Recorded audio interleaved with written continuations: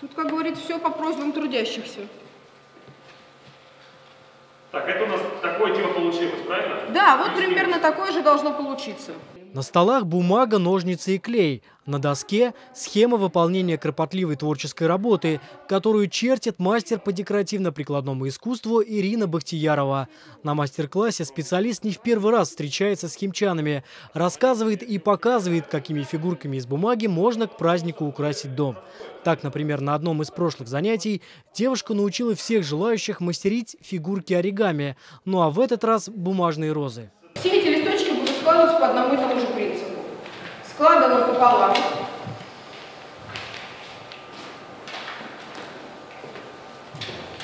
Хорошо проглаживаем место сгиба, прям хорошо его проглаживаем, продавливаем, чтобы он не разворачивался. Сложили. Потом еще раз пополам. Занятия по декоративно-прикладному искусству, рисованию, фитнесу и многим другим видам деятельности уже стали традиционными. Тематические мастер-классы проходят в Химках каждый день. Подробную информацию о них можно найти во вкладке газеты «Химкинские новости», в социальных сетях по хэштегу «Химки интересно жить» и на специальном сайте.